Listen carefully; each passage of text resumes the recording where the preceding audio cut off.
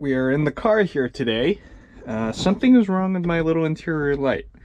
When I go to on, it doesn't work. When I go to door, my door is open. It also doesn't work. So I thought the bulb was burned out at first. It might be. I checked it, it seemed okay, but let's uh, work on replacing it because I was able to source a new one. Look at that.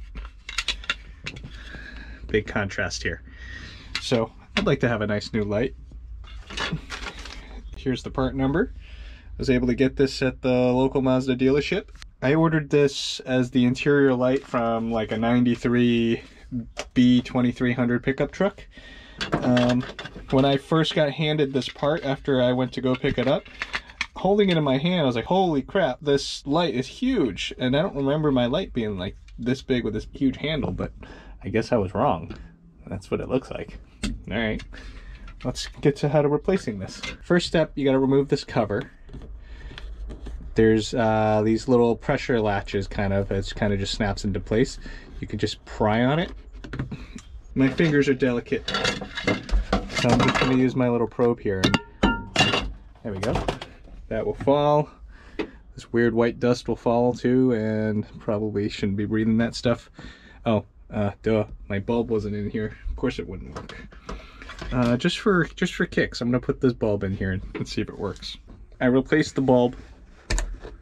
Still, no signs of life. I'm not sure why.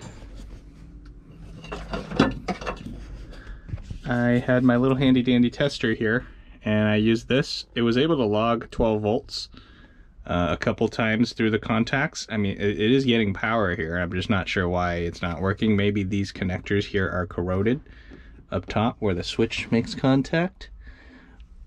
They don't look particularly nice. So I'm just going to pop this out and put the new light in and see how that goes. It is uh, it's two Phillips head screws and this whole light will drop out.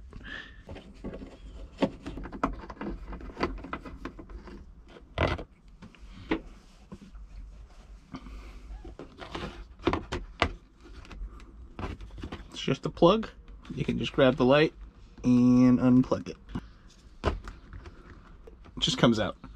Because my doors are open, I'm expecting to have 12 volts here.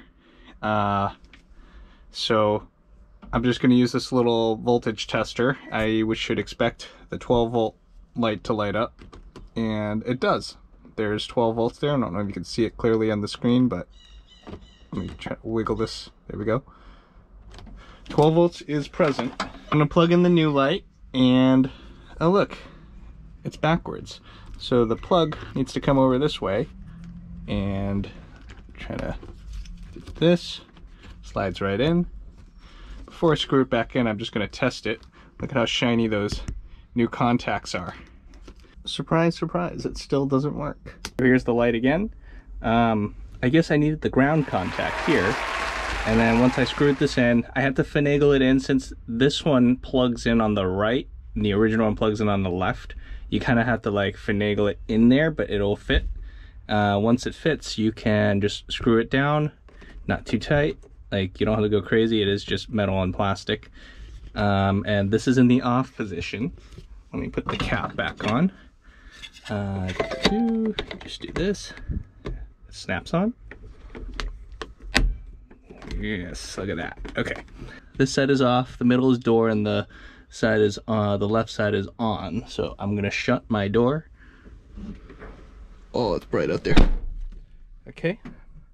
Door is shut, both sides put it to door, nothing happens. Cool.